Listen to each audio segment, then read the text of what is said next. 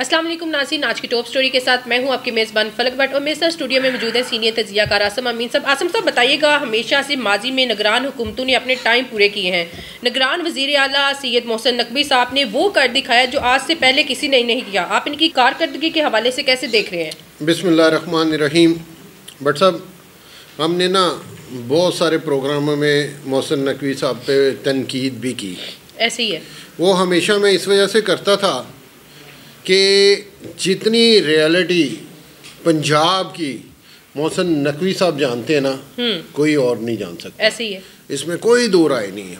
क्योंकि वो खुद एक रिपोर्टर से शुरू हुए हैं उनको पाकिस्तान की पंजाब की लाहौर की इच्ची बिची का पता है क्या क्या खामियाँ किस किस जगह पर हैं। ऐसे ही। है और हमने हमेशा मैं हैरान होता था कि यार वज़ी अला साहब पता नहीं क्यों नहीं लोगों को रिलीफ दे रहे या ये काम नहीं कर रहे या वो काम नहीं कर रहे। लेकिन अब हमें खुशी हो रही है कि देर कर दी मेहरबान आते आते। लेकिन अपने उस कामों पर आ गए जो करना ज़रूरी थे या हैं। अब देखें कि मुझे बहुत खुशी हुई कि दो दिन पहले उन्होंने एक नोटिस जारी किया है कि जितने तजावजात हैं उनको 48 घंटे का टाइम देता हूँ। वो ख़त्म कर लें अपने आप नहीं तो हम सख्त ऑपरेशन करेंगे। ऐसे ही है। ये कौमें इसी तरह ठीक होंगी। बिल्कुल। आप जाके देख लें मैं छोटे रोडों के नाम नहीं लेता। Mall Road Anarkali Shalam market Urdu Bazaar और इस तरह के जो मेन मेन ब्रांथ रोड हो गया बीडन रोड हो गया या और इस तरह की जो मेन मार्केटें हैं हम्म। वहाँ लोगों का गुजरना नामुमकिन है ऐसे ही है कि आप गाड़ी पे तो जा ही नहीं सकते हम्म।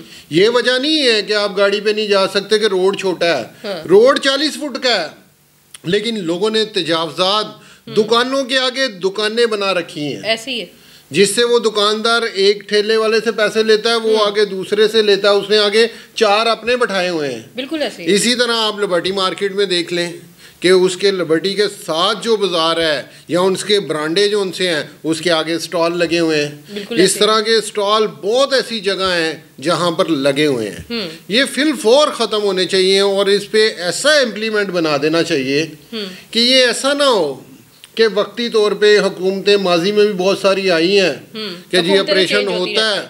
बाद में पता लगता है जब वो महीने का एक ज़ोर होता है उसके हम्म। बाद फिर ब्रांडों पे ब्रांडे डलने शुरू हो जाते हैं। ऐसे ही है। बहुत सारी दुकानें मार्केटों में ऐसी हैं या मुख्तलिफ़ जगह पे बाज़ारों में ऐसी हैं कि दुकान से आगे दुकान बन चुकी है। हम्म। वो सड़क पे आ गए हैं वो तजावजात जो उनसे है वो माफिया ने कब्ज़ा कर रखा है। बिल्कुल ऐसे ही है। तो हमें बहुत खुशी है कि वज़ी अला साहब ये अच्छे काम कर रहे हैं जो मेरा नहीं ख्याल था कि अभी भी माजी में किसी हुक्मरानों ने किए हों। अच्छा आसम साहब बताइएगा हमेशा माजी में है जो निगरान वजरा आला ने प्रोटोकॉल के मज़े भी लिए और माजी का हिस्सा भी बन गए। इकतदार का नशा अच्छे अच्छू के दिमाग खराब कर देता है। लेकिन मोहसिन नकवी ने पंजाब में तरक्याती कामों में न सिर्फ़ हिस्सा लिया वो कर दिखाया जो लोग शबाज शरीफ को एडमिनिस्टर बोलते थे वो उनको भूल गए। जी वो इसी तरह था ना कि शबाज शरीफ को एडमिनिस्ट्रेटर बोला जाता था कि ये काम की स्पीड बहुत तेज़ी से काम करवाता है और इसने बहुत सारे ऐसे काम बड़ी तेज़ी से करवाए हैं। बिल्कुल ऐसे। लेकिन मोहसन नकवी साहब ने ये तरक्याती कामों में उनको पीछे छोड़ दिया। ऐसे ही है। ऐसे ऐसे प्रोजेक्ट जो उनसे उन्होंने जो छः छः महीने के थे वो तीन तीन महीनों में मकम्मल करवा दिए और रोड बड़ी हद तक हमारे जो उनसे अब सिग्नल फ्री होते चले जा रहे हैं और। काफ़ी पे काम जारी है। और मुझे खुशी होती है कि उन्होंने हॉस्पिटल्स की बेहतरी के लिए वो बहुत सारे काम कर रहे हैं कि अल्लाह करे कि वो अपनी हुकूमत में कर जाएँ।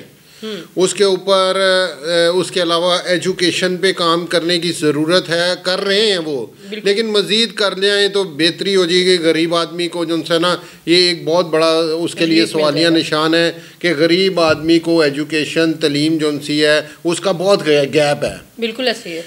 और आखिरी काम जिस पे वो बड़ी तेज़ी से काम कर रहे हैं कि थाना कल्चर पे। हम्म। लेकिन उसमें अभी बहुत सारा गैप है। जितना मर्ज़ी आएगी पंजाब साहब उनके साथ साथ रह के उनको कहें कि जी हमने ये बेहतरी कर दी हमने वो बेहतरी कर दी है। हमें बेहतरी नहीं चाहिए। हम्म। हमें थाने मॉडल नहीं चाहिए। हमें लोगों को इंसाफ इंसाफ चाहिए। चाहिए बिल्कुल ऐसे ही है। अब यहाँ बदकिस्मती से लोगों को मेरिट पे होने के बावजूद अगर वो पैसे नहीं देता उसको इंसाफ हम्म। नहीं नहीं, मिलता ये आप एक क्या एक हज़ार एक वाकिया मुझे कहेंगे तो मैं आपको अभी आज हम्म। या कल में ऐसी बहुत सारी चीज़ें आपको पता है हमारे पास भी साइलिन बेचारे रोते रोज आते हैं पुलिस के मारे कि फलाने एस एच ओ ने ये ज्यादती कर ली फलाने ए एस आई ने ये ज्यादती कर ली ये होता है एस एच ओ से नीचे लेवल का हम्म। ही है। डिप्टी से वो डिप्टी पे भी इतनी करप्शन नहीं होती जितनी वो एस एच ओ लेवल से लेके नीचे मुहर्र तक होती है। हम्म, ये निज़ाम थोड़ा सा बेहतर हो जाए ना लोगों को इंसाफ मिलना शुरू हो जाए। मैं कहता हूँ वज़ीर अला साहब को सारी ज़िंदगी लोग दुआएँ देंगे। अगर इस पे काम करके तो। जी नासिन ये थी आज की हमारी टॉप स्टोरी इसी के साथ अपनी मेज़बान फलक भट्ट को इजाज़त दीजिएगा अल्लाह निगहबान